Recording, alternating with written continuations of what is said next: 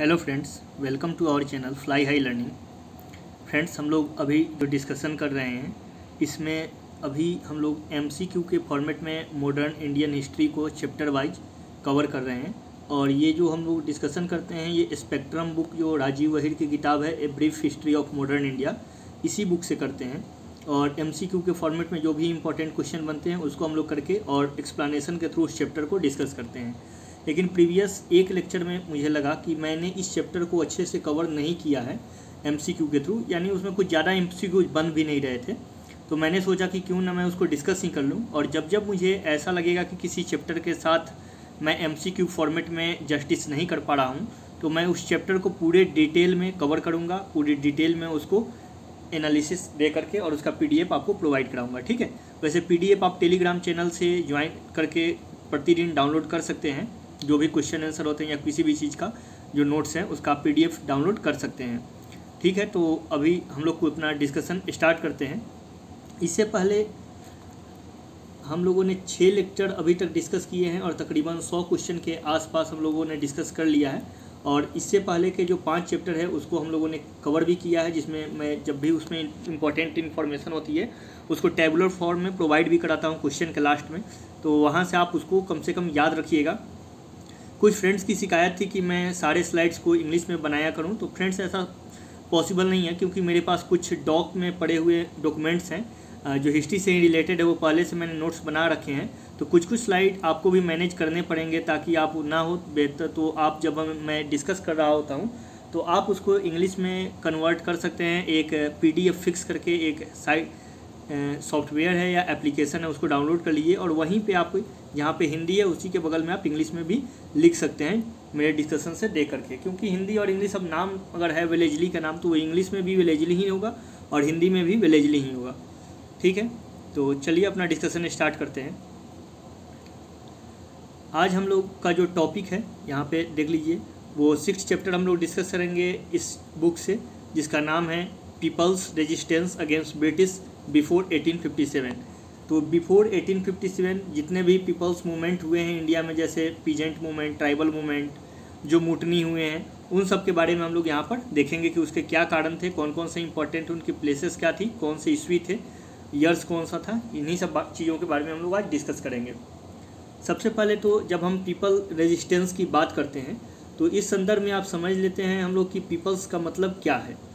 तो वो सारे लोग जिन्होंने ब्रिटिश रूल के अगेंस्ट रेजिस्टेंस किया, इसमें पीपल का मतलब difference section of Indian society के जो लोग हैं और इन लोगों ने जिन्होंने एलियन रूल या ब्रिटिशर्स के खिलाफ विद्रोह किए, उन सबको इसमें शामिल किया जाता है। वो सोसाइटी के इंडियन सोसाइटी के वो कौन कौन से वर्ग आते हैं? जैसे पीजेंट आते हैं आर्टिजान्स आते हैं ट्राइबल आते हैं रूलिंग क्लास आते हैं। रूलिंग क्लास में भी जो रूलिंग क्लास एक्टिव थे या जो डिस्पोज भी हो गए थे। जैसे एक्टिव में कौन कौन लोग थे? एक्टिव में जैसे मैसूर के राजा थे, उन्होंने भी विद्रोह किया। या टीपू सुल्तान थे, हैदर अली थे, इन लोगों ने विद्रोह किया। जो डिस्पोज हो गए तो जब व्यक्गत सिद्धांत चल रहा था डलहौजी का डॉक्ट्रिन ऑफ़ लैब्स तो उसके अंतर्गत बहुत सारे राजाओं को डिस्पोज कर दिया गया था। तो वो लोग भी इसमें पार्टिसिपेट कर रहे थे। जो मिलिट्री पर्सनल थे मिलिट्री पर्सनल में वो लोग आते हैं जैसे जो ब्रिटिश साम्राज्य के अंतर्गत थे और वो विभिन्न कारणों से नाखुश थे ब्रिटिश साम्राज्य से, जैसे वेजेज बराबर नहीं मिल रहे हैं, उनको प्रोमोशन बराबर नहीं मिल रहे हैं यूरोपियन व्यक्तियों की तुलना में। तो कुछ लोग वो थे, इसके अलावा गडकरी थे, नयंकार थे पॉलीगार्स थे तो ये लोग भी जो थे मिलिट्री पर्सनल थे। तो ये लोग भी पीपल्स रेजिस्टेंस में पार्टिसिपेट कर रहे थे रिलीजियस लीडर जैसे हिंदू, मुस्लिम के जो मौलवी होते हैं, मौलाना होते हैं, पंडित होते हैं या पृष्ठ वर्ग होता है, वो लोग ब्रिटिश साम्राज्य के खिलाफ लड़ रहे थे, क्योंकि उनका एक अपना इंटरेस्ट था वो या तो सेपरेटली लड़ रहे थे या साथ भी मिलकर लड़ रहे थे तो इन सारे वर्ग को, के लोगों को पीपल रेजिस्टेंस के अंतर्गत रखा जाता है। लेकिन बिपिन चंद्रा ने तीन पार्ट में ब्रॉडली इसको डिस्टिंग्विश किया है। कौन कौन है ये?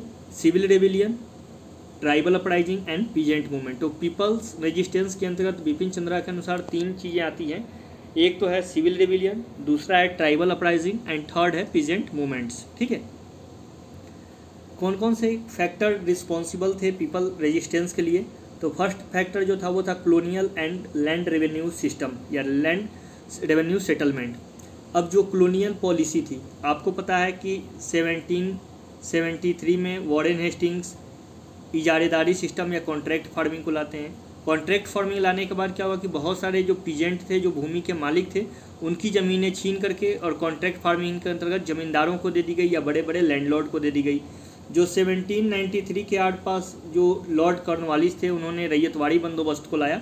इसके अंतर्गत उन्होंने ज़मींदारों से सेटलमेंट किया, जिसके कारण पीजेंट दुखी हो गए। तो ये एक कारण था। इसके अलावा भी बहुत सारे रेवेन्यू सेटलमेंट सिस्टम थे, जो किसानों को दुखी कर रहे थे या पीपल्स जो लोग थे, उनको डिफ़िकल्टीज में डाल रहे थे। सेकेंड है heavy burden of new taxes अब 1799 के आसपास और 1757 से एक चीज़ आप याद रखिए कि जब ब्रिटिशर्स प्लासी की वॉर जीतते हैं तेईस जून सत्रह को, और उसके बाद बक्सर ऑफ़ बेटल जीत बक्सर का युद्ध जीतते हैं 1764 में ये बेटल होता है, और 1765 में एक संधि होती है, इलाहाबाद की संधि। तो ये संधि दो लोगों के साथ होती है, एक होती है ब्रिटिश और शाह आलम द्वितीय के साथ, मुगल इम्पेयर के साथ, और दूसरा होता है ब्रिटिश और अवध के नवाब सुजाउदौला के साथ। जब शाह आलम द्वितीय के साथ होती है, मुगल इम्पेयर के साथ तो मुगल इम्पेयर ने बहुत, तीन शर्तों के साथ एक शर्त यह भी मान ली थी कि बंगाल, बिहार और उड़ीसा की जो दीवानी का अधिकार है या रेवेन्यू वसूलने का जो अधिकार है, वो ब्रिटिशर्स के हाथों में दे दिया। जिसके कारण बहुत सारे टैक्सेस लगे। इसके चलते भी जो किसान थे, वो दुखी थे, जो लोग थे, वो दुखी थे। Eviction of peasant from their land, अभी मैंने आपको बताया कि उनको किसानों को उनकी भूमि से बेदखल किया जा रहा था। Growth of intermediary revenue collector tenants and money lender. अब जैसे मान लीजिए कि बंगाल में एक किसान है। पहले वो अपना लगान खुद चुकाता था। लेकिन अब क्या हुआ कि किसान सिर्फ़ अपनी ज़मीन पे खेती कर रहे हैं, लगान उनसे कोई और वसूल कर रहा है, और मनी लेंडर कोई और है रेवेन्यू कलेक्टर कोई और है। तो इससे क्या होगा कि जो इंटरमीडियरी जो रेवेन्यू कलेक्टर जेनरेट हुए इस बीच में पीजेंट और ब्रिटिश जो अथॉरिटी है उसके बीच में, ये इंटरमीडियरी क्लास पीजेंट का काफ़ी ज़्यादा शोषण करते थे, ठीक है? तो जिसके चलते भी विद्रोह हुए। Expansion of revenue administration over tribal land जो रेवेन्यू एडमिनिस्ट्रेशन था ट्राइबल लैंड के ऊपर भी, जो ट्राइबल लोग थे, आदिवासी लोग थे तो इनके इलाके में भी बहुत सारे सेटलमेंट किए गए, जैसे कि आप जंगल की लकड़ी नहीं काट सकते हैं। जंगल के जो लकड़ी रिज़र्व घोषित कर दिया गया जंगल को, वहाँ पे ट्राइबल लैंड्स पे भी रेवेन्यू सिस्टम लगाया गया। तो इन सब के कारण ट्राइबल भी नाराज़ थे। जो आर्टिजान्स क्लास थे, उनकी अपनी दिक्कत थी कि जो मैन्युफैक्चरिंग गुड थे आर्टिजान्स क्लास के तो इंडिजीनियस इंडस्ट्री जो कुटीर उद्योग जिनको हम लोग बोलते हैं, लघु और कुटीर उद्योग, उसको ब्रिटिश पॉलिसी ने चौपट कर दिया। फॉर एग्ज़ाम्पल एक उदाहरण से समझते हैं। ब्रिटिश पहले जो था, आप जब Era of Darkness Shashi Tharoor की एक बुक है, काफ़ी अच्छी बुक है ब्रिटिश इरा के ऊपर। तो जब आप उसको पढ़ेंगे तो उसमें ये बात लिखा हुआ है कि 1765 से पहले पूरे दुनिया का जो 90 परसेंट के आसपास क्लॉथ का ट्रेड होता था, रेशमी वस्त्रों का, वो इंडिया करता था। ठीक है? यानी एक्सपोर्ट करता था। लेकिन बाद में क्या हुआ? जब ब्रिटिशर्स आए तो उन्होंने यहाँ पर सिल्क की पैदावार करवाई, कॉटन को पैदावार करवाया, इंडिगो का प्लांटेशन करवाया और रॉ मटेरियल को यहाँ से क्या हुआ? 1760 के दशक में इंग्लैंड में औद्योगिक क्रांति शुरू हो गई। तो यहाँ से रॉ मटेरियल को भेजते थे और वहाँ से जो था मैन्युफैक्चरिंग गुड्स को मंगवा करके और इंडिया में सप्लाई करते थे। दूसरी बात, अगर मान लीजिए कि ओपन ट्रेड सिस्टम होता, कि इंडिया के जो आर्टिजान्स हैं, इनके वस्तुओं के ऊपर कोई टैक्स नहीं लगाया जाता, कोई ड्यूटी नहीं लगाई जाती तो कंपटीशन होता।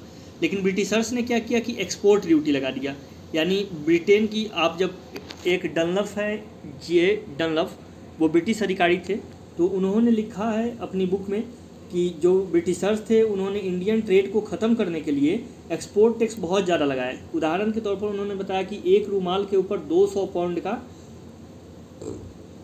200 पॉइंट का उन्होंने एक्सपोर्ट टैक्स लगाया था एक्सपोर्ट ड्यूटी लगाई थी। अब सोचिए कितनी बड़ी ड्यूटी है। तो इससे क्या हुआ कि जो भारत का व्यापार था आर्टिजान्स लोगों का जो व्यापार था, वो इससे काफ़ी ज़्यादा प्रभावित हुआ। End of patronage to priestly and scholarly class जो पुरोहित वर्ग थे तो उनकी जो लोकल रूलर होते थे लोकल रूलर उनको पैट्रोनेज करते थे, उनको संरक्षण प्रदान करते थे, पूजा पाठ करवाते थे मंदिरों में। जब लोकल रूलर ही नहीं रहे तो क्या होगा? कि ये जो क्लास है वो यूजलेस हो गया, ठीक है?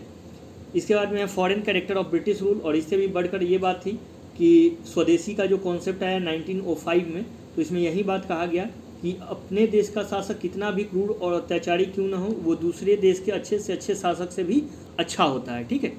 तो ये कॉन्सेप्ट भी था। तो इसको आप याद रखिएगा कि कौन कौन से फैक्टर जो थे, वो पीपल रेजिस्टेंस के लिए जिम्मेदार थे। इसके बाद में पीपल्स अपराइजिंग के कौन कौन से रूप थे?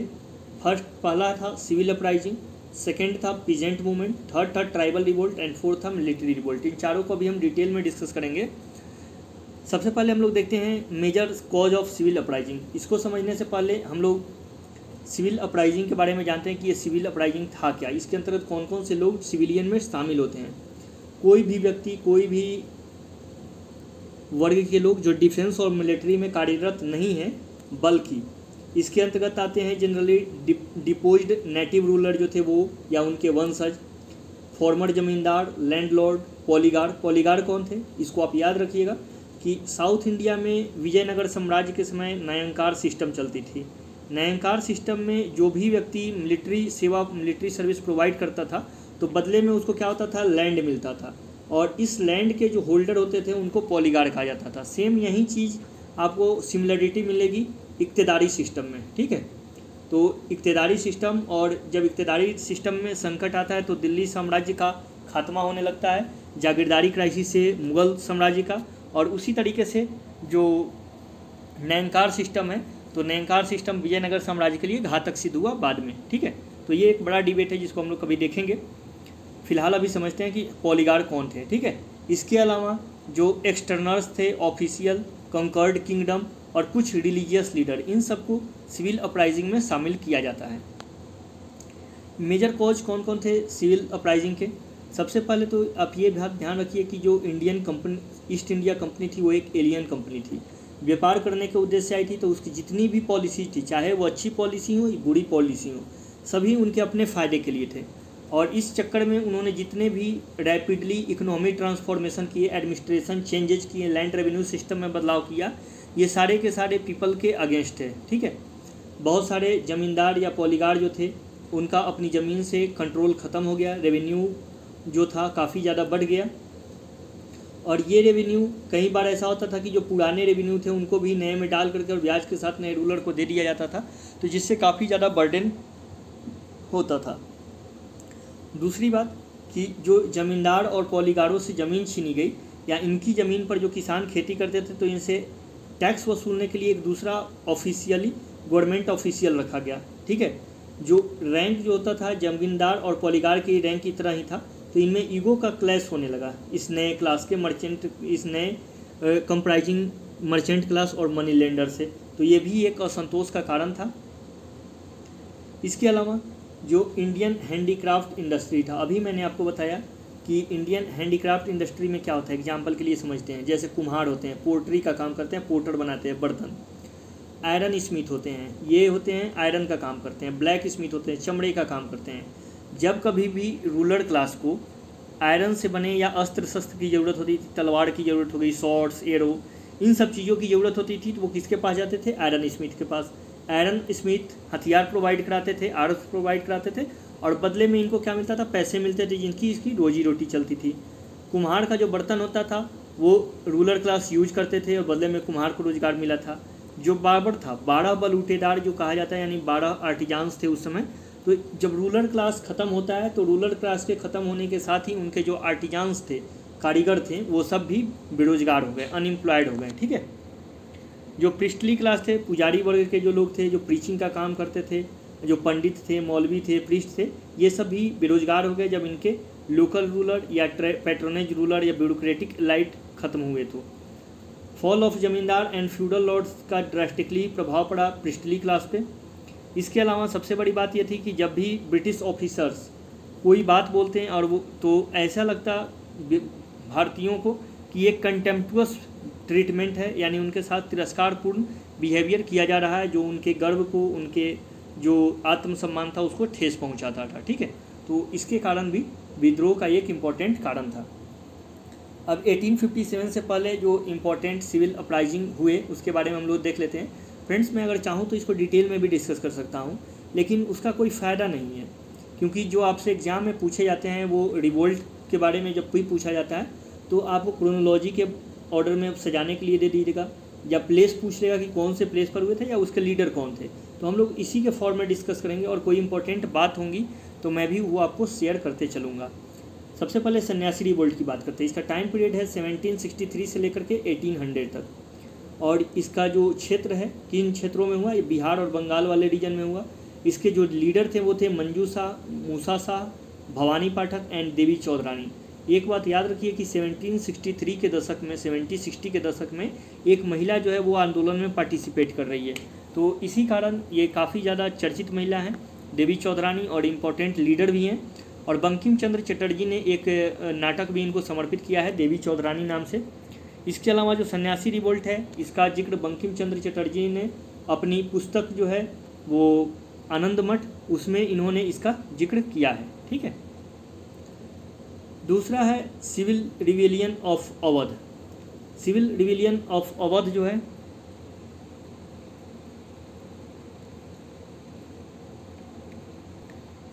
जो सिविल रिवेलियन है अवध का, इसकी टाइम पीरियड है 1799 ईस्टर्न उत्तर प्रदेश में ये होता है। इसकी एक बड़ी रोचक कहानी है जो मैं आपको अभी शेयर करना चाहता हूँ। वज़ीर अली खां अंग्रेज़ों के चापलूस हुआ करते थे। तो शुरू में अंग्रेज़ों की कृपा दृष्टि रही और ये अवध के चौथे नवाब के तौर पर नियुक्त हुए। लेकिन बाद में अंग्रेज़ों से इनकी बनी नहीं, जैसे अक्सर हमेशा अंग्रेज़ों के साथ होता है। और सआदत खान अली खान जो है, उसको अंग्रेज़ों ने रूलर बनाया। फिर क्या हुआ कि एक बार वज़ीर अली खान ने कुछ अंग्रेज़ ऑफिशियल को, ब्रिटिश ऑफिशियल को घर पे बुलाया दावत के लिए और उनको इन्होंने मार दिया।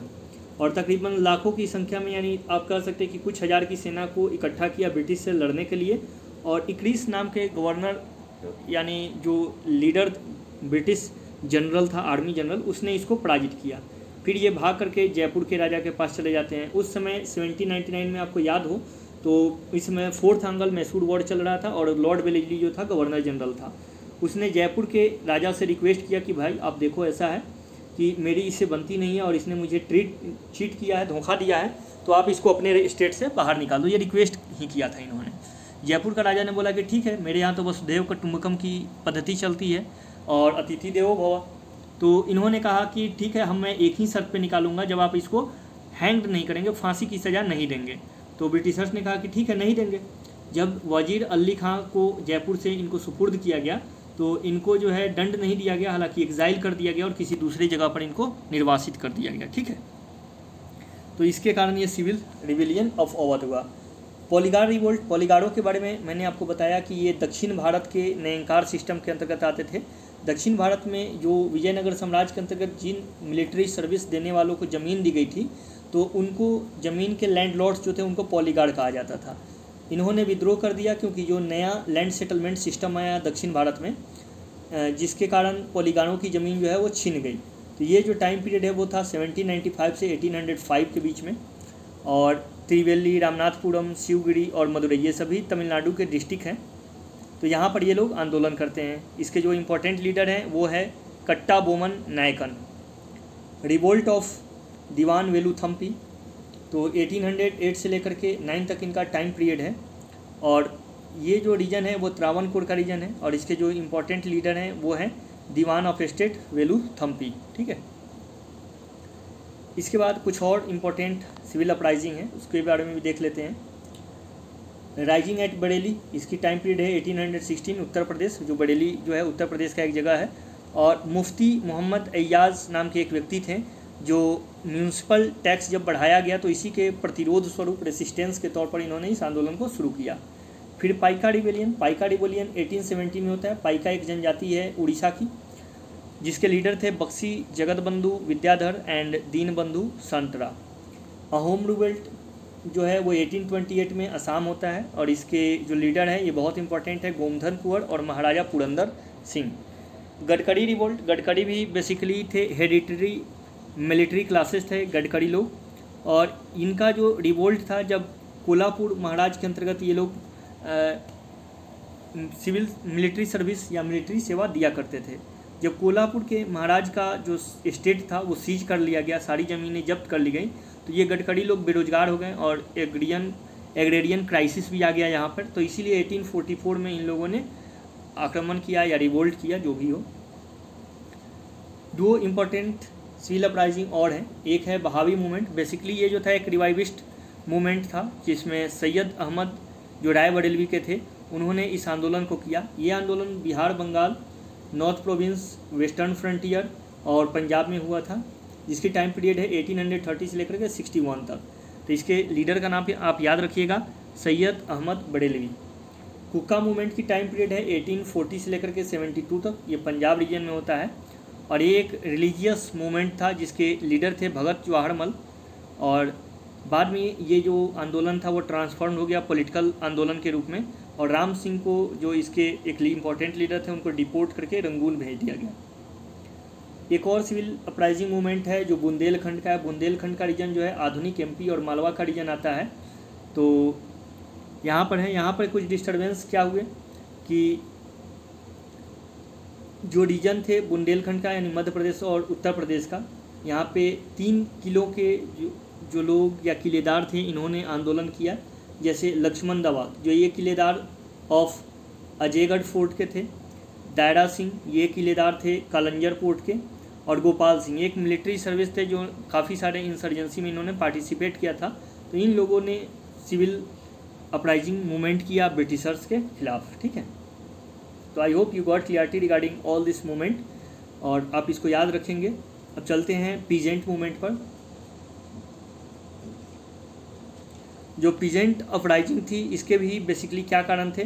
जो इनका increase of rent land rent जो बढ़ रहा था मनी लेंडर्स के ग्रीडी तरीक़ों के कारण, जैसे ये पैसे देते थे, अब आपको याद होगा जो दक्कन का रिवोल्ट होता है 1760 में।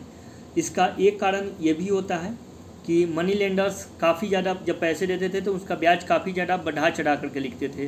तो यहाँ पर मनी लेंडर्स से भी प्रॉब्लम था किसानों को तो इसके कारण भी ये रिवोल्ट हुए और ब्रिटिशर्स से भी हुए, क्योंकि ब्रिटिशर्स का land revenue system land settlement system ये सब में काफ़ी ज़्यादा खामियाँ थी, जिससे किसान जो थे वो सीधे सिर्फ़ अपनी ही ज़मीन पर मजदूर बनकर रह गए थे, ठीक है, श्रमिक बन गए थे तो इसीलिए ये रिवोल्ट हुआ।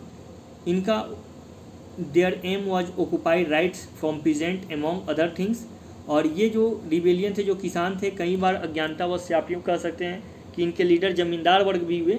और ज़मींदार वर्ग हालाँकि अपनी मतलब के लिए भी फाइट कर रहे थे, लेकिन कुछ ज़मींदार ऐसे थे जो किसानों के हित के लिए भी फाइट कर रहे थे।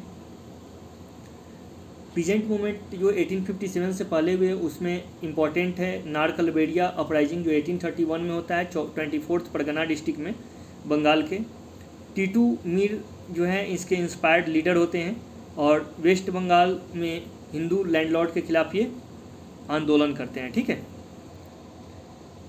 दूसरा इम्पोर्टेंट जो पीजेंट मूवमेंट है, वो है पागलपंथी। 1825 से 35 के बीच में मेमन सिंह डिस्ट्रिक्ट एक है बंगाल का।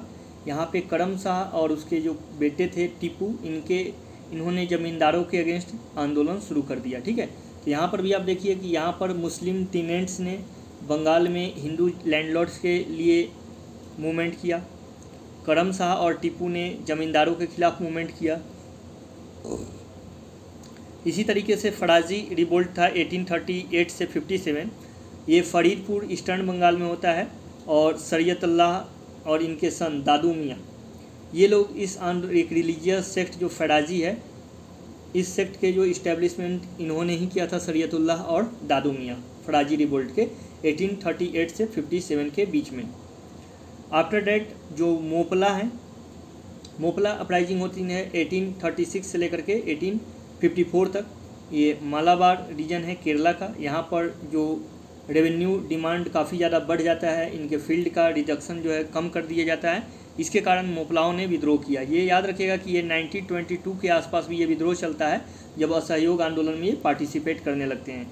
मोपला बेसिकली क्या थे कि एक मुस्लिम किसान थे और इन्होंने हिंदू जमींदारों के खिलाफ यहाँ पर आंदोलन किया था, ठीक है? अब ट्राइबल मूवमेंट के बारे में देख लेते हैं। ट्राइबल मूवमेंट्स को हम लोग दो पार्ट में डिस्कस करेंगे। दो, एक पार्ट होगा मेन ट्राइबल लैंड के बारे में और जो दूसरा पार्ट होगा वो फ्रंटियर ट्राइबल लैंड के बारे में। अभी हम लोग मेन ट्राइबल लैंड जो जंगल ज़मीन से रिलेटेड था फॉरेस्ट एंड लैंड से, उसके बारे में हम लोग बात करेंगे। दोनों में कुछ सिमिलरिटीज़ भी हैं, लेकिन कुछ अंतर भी है। अंतर को हम लोग लास्ट में डिस्कस करेंगे सिमिलरिटीज़ आप देख लीजिए मिला जुला कर जो मेन ट्राइबल रिवेलियन थे, इनके अंतर्गत जो रिवोल्ट होता है, वो ट्राइबल लैंड और फॉरेस्ट को लेकर के होता है। ट्राइबल लोगों की अपनी कस्टमरी होती है, उनकी अपनी प्रथाएँ होती हैं, अपनी सांस्कृतिक कल्चर होते हैं। अपनी संस्कृति होती है तो जब लैंड सेटलमेंट सिस्टम आया तो ट्राइबल लोगों में ज्वाइंट ओनरशिप लैंड की जो ज्वाइंट ओनरशिप होती है तो वो एक सोशल फैब्रिक का पार्ट है। जैसे कबीले के लोग एक भूमि के एक हिस्से पर खेती करते थे, और वहाँ के उपज को ये लोग अपने आवश्यकता के अनुसार बांट लेते थे। लेकिन जब लैंड सेटलमेंट सिस्टम आया तो ये जो सोशल फैब्रिक था, ये ख़त्म होने लगा। जो ब्रिटिशर थे, उन्होंने एग्रीकल्चर को एक्सटेंड किया, और इस चक्कर में उन्होंने अपनी ट्राइबल लैंड की जो ज़मीन थी, इसको कॉन्ट्रैक्ट फ़ार्मिंग के लिए बड़े बड़े लैंड लॉर्ड्स को दे दिया। ट्राइबल लोग जो थे, वो शिफ्टिंग कल्टीवेशन करते थे। शिफ्टिंग कल्टीवेशन करने का इनका अपना एक उद्देश्य होता था, क्योंकि उतनी टेक्नोलॉजी इनको पता नहीं थी। तो एक बार जंगल को ये लोग फॉरेस्ट को क्लियर करते थे और दो तीन साल तक वहाँ पे काफ़ी घनी, सघन मात्रा में खेती करते थे। जब ऐसा लगता था उनको कि इस लैंड की अब फर्टिलिटी ख़त्म हो गई तो उसको छोड़कर दूसरे स्थान पर चले जाते थे। तो उसके पीछे उनकी अज्ञानता थी, लेकिन ब्रिटिशर्स लोगों ने क्या किया कि शिफ्टिंग कल्टीवेशन को बैन कर दिया अपने मकसद के लिए। ऐसा नहीं था कि वो फॉरेस्ट को कट नहीं कर रहे थे, लेकिन सिर्फ़ उन्होंने जो ट्राइबल लोग थे, उनके लिए जो है कर्व्ड कर दिया कि आप लोग जो है फॉरेस्ट कट नहीं करेंगे। ठीक है? तो इससे ट्राइबल लोगों को और ज़्यादा प्रॉब्लम हुई। उन्होंने फॉरेस्ट के कुछ पार्ट को रिज़र्व कर दिया, वहाँ पर ट्राइबल को जाने से मना कर दी, और जंगल के साथ ट्राइबल लोगों का एक अपना मातृत्व वाला अटैचमेंट होता है, वो जंगल को अपनी माता मानते हैं, ठीक है? तो इसलिए भी वो लोग रिवोल्ट कर रहे थे। गवर्नमेंट जो था कंट्रोल अपना बढ़ा दिया था ट्राइबल एरिया पर। इसके अलावा गवर्नमेंट की अपनी ज़रूरत थी, क्योंकि कंपनी को शिपिंग और रेलवे का डेवलपमेंट करना था और इसके लिए डिमांड काफ़ी ज़्यादा हो रही थी लकड़ियों की। इसी समय ब्रिटेन में 1760 के दशक में औद्योगिक क्रांति आती है। तो यहाँ की लकड़ियों को तो वहाँ नहीं भेजा जाता था, लेकिन यहाँ रेलवे का विस्तार किया जा रहा था ताकि औद्योगिक क्रांति से जो तैयार माल है मैन्युफैक्चरिंग गुड्स हैं, उसको भारत के अलग अलग हिस्से में पहुँचाया जा सके, ठीक है? इसके अलावा जो पुलिस थे ट्रेडर थे मनी लेंडर थे, ये सब भी ट्राइबल का शोषण कर ही रहे थे। उनकी महिलाओं के साथ बलात्कार कर रहे थे, पुरुषों को अनावश्यक पीट रहे थे, उनका मर्डर कर रहे थे तो तरह तरह के जुल्म उन पर ढाते रहते थे, ठीक है? कुछ जनरल लॉ ऐसे थे, जैसे ब्रिटिशर्स जितने भी कानून लाए तो अब ट्राइबल लोगों की अपनी कस्टम है, उनकी अपनी ट्रेडिशन है, अपना एक प्रथा है, ठीक है रिचुअल्स हैं। जो इनके लॉ होते थे ट्राइबल लोगों के साथ मैच नहीं खाते थे और ट्राइबल लोगों को लगता था कि ये हमारे धर्म संस्कृति को नष्ट कर रहे हैं। वैसे ही कलोनियलिज्म बढ़ रहा था क्रिश्चियन मिशनरियों का इफ़ेक्ट बढ़ रहा था ट्राइबल लैंड में तो ज़बरदस्ती ट्राइबल को क्रिश्चियनिटी में भी कन्वर्ट किया जा रहा था या लोभ दे करके ठीक है? तो इन सब कारणों से भी ट्राइबल मूवमेंट हुए। लेकिन ये ट्राइबल मूवमेंट हर जगह सेम नहीं थे और ना ही सभी ट्राइबल लोगों को ज़मीन और जंगल से मतलब था और लेकिन कुछ डिफरेंसेस थे, जैसे जो नॉन फ्रंटियर ट्राइबल रिवोल्ट हुए और जो फ्रंटियर ट्राइबल रिवोल्ट है, जैसे non eastern frontier north eastern tribal movement अब जैसे गारो के रीजन में, गारो खांसी और जयंतिया हिल है, असम हिल है, मणिपुर हिल है वहाँ पे कुकी मैटी जो ट्राइबल्स हैं इन लोगों ने जो आंदोलन किया तो ये इनकी बाउंड्री जो थी, इनके कल्चर जो थे, वो एमलगेट होते थे। जैसे कुकी ट्राइब थी मणिपुर की तो इसकी बॉर्डर म्यांमार के साथ शेयर होती है। आज का जो म्यांमार है, यहाँ पर दोनों के बीच में आदान प्रदान काफ़ी ज़्यादा था। इसके अलावा जो खांसी हिल्स के, जो खांसी जनजाति थी, इनका असम के साथ बॉर्डर शेयर होता था और इनके बीच में इनके रिलेशन कल्चरल एमलगेशन काफ़ी ज़्यादा थे। तो अब ये जब पोल ईस्ट इंडिया कंपनी जो रूल्स एंड रेगुलेशंस ला रही थी, इनसे इनके कल्चर में हस्तक्षेप हो रहा था, जिसके कारण ये पॉलिटिकल ऑटोनॉमी को अपना जो उनकी प्रांतीय स्वायत्तता थी, उसमें बाधा पड़ रही थी।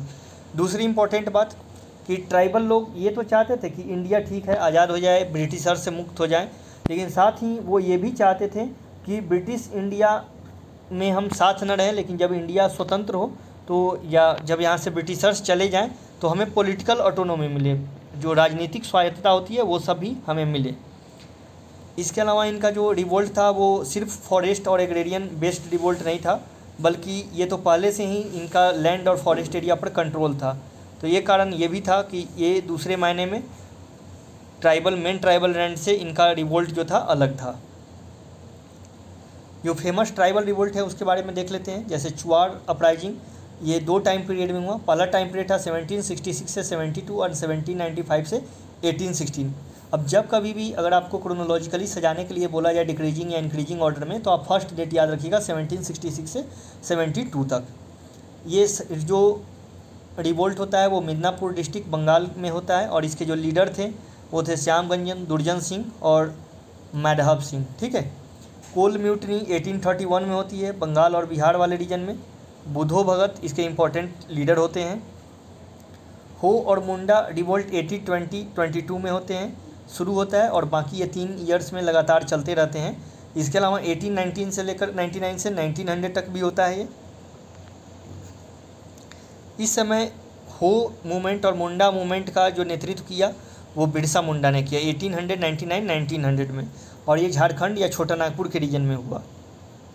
संथाल रिवोल्ट 1855-56 में हुआ राजमहल हिल्स, जो बिहार में है, और सिद्धू कानून, चाँद भैरव, भूलो जानो, इसके इम्पोर्टेंट लीडर थे। फ़ोन अपराइजिंग 1837 से 1856 तक हुआ, और ये तमिलनाडु से लेकर के और ईस्टर्न घाट जितना भी है, उड़ीसा तक।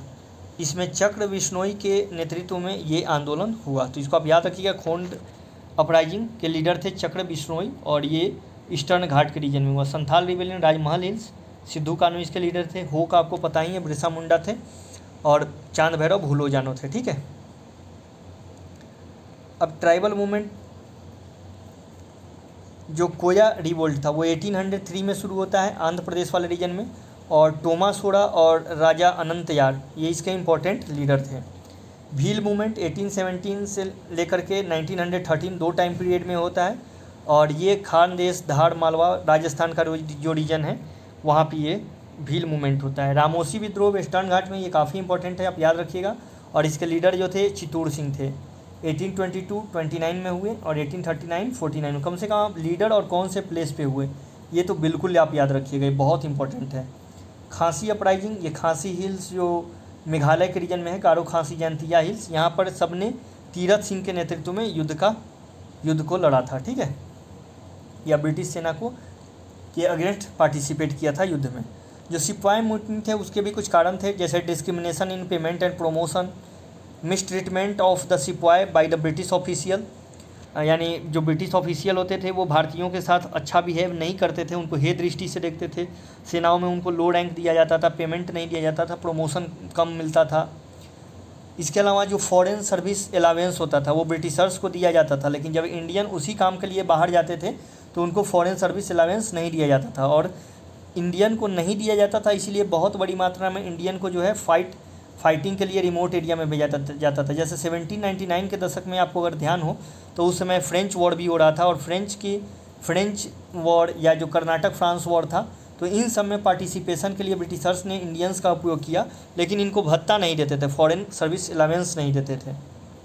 इसके अलावा जो उच्च कास्ट के हिंदू वर्ग थे लॉर्ड कैनिंग ने एक एक्ट पारित किया, जनरल सर्विस इनलिस्टमेंट एक्ट 1856 उसमें उन्होंने ऑर्डर दिया कि कोई भी व्यक्ति अगर नौकरी करना चाहता है, जॉब लेना चाहता है तो उसको हर जगह काम करना पड़ेगा, ready for service both within and outside India मतलब भारत में भी और भारत के बाहर भी, ठीक है? अपर कास्ट के कुछ रिवोल्ट इससे पहले भी देखने को मिले, क्योंकि जो ब्रिटिशर्स के कानून थे वो इनके रिलीजियस बिलीफ फेथ के साथ मैच नहीं खाते थे। और इनको ऐसा लगता था कि ब्रिटिश सर्विस कंडीशन ऐसी हैं, जिसे हिंदू धर्म खत्म हो जाएगा, ठीक है? तो 1806 में एक वेलोर मुटनी होता है, जिसमें ये कहा जाता है कि कोई भी हिंदू जो है वो टर्बाइन नहीं, टर्बन नहीं पहनेगा, यानी पगड़ी नहीं पहनेगा, उस टीके, टीका नहीं लगाएगा, जनेऊ नहीं पहनेगा। तो ये सब चीज़ें जब कहा गया तो अब जनेऊ नहीं पहना तो ये सवर्ण हिंदुओं के लिए अपर कास्ट हिंदुओं के लिए काफ़ी बड़ा जो था ट्रेजडी था। यानी वो सॉफ्ट हो गए और इसके लिए इन्होंने विद्रोह किया क्योंकि धर्म उनके लिए बड़ा था और था भी उस समय। सिमिलरली 1844 में एक म्यूटनी आउटब्रेक होती है बंगाल में और इसमें सिंध, बंगाल में सिंध में लोगों को भेजा जाता है, बैरकपुर रिबोल्ट में बर्मा में भेजा जाता है और बर्मा क्या है, बर्मा और भारत के बीच में समुद्र है। यानी मेन लैंड को क्रॉस करना पड़ेगा और जो भारतीय लोग थे वो समुद्र को क्रॉस करना अच्छा नहीं समझते थे, वो लो कास्ट का काम मानते थे। छोटी जाति का काम मानते थे, ठीक है? तो इसलिए भी ये रिवोल्ट हुए। कुछ इंपॉर्टेंट सिपाही म्यूटनी हैं, जिनके बारे में आप नाम जान लीजिए कि कब कब हुए थे। वेलोर मुटनी 1806 में हुए थे, mutiny of forty native infantry 1824 में रिवोल्ट ऑफ़ ग्रैंडियर कंपनी 1825 में असम में हुई म्यूटनी ऑफ़ सोलापुर महाराष्ट्र में 1833 में इसके अलावा ये नेटिव इन्फेंट्री जो हुए thirty fourth native infantry, twenty second native infantry, ये आप सिर्फ़ याद रखिए, एक मेंस में आपको एक आइडियोलॉजी मिल जाएगा, हालाँकि इसका पीटी में बहुत कम इंपॉर्टेंट है। सिर्फ़ वेलोड ऑफ़ मुटनी आप याद रखिएगा कि ये वेलोड ऑफ़ मुटनी 1806 में हुई थी और इस समय जॉर्ज बोर्लो ये नाम याद रखिएगा। एटीन हंड्रेड फाइव में ये वाइस गवर्नर जनरल बन के आते हैं बंगाल के और इन्हीं के समय में ये विद्रोह होता है, ठीक है? तो फ्रेंड्स आज के डिस्कशन में इतना ही. I hope you got clarity regarding all this article and you like this video please do like comments and subscribe the channel thanks for watching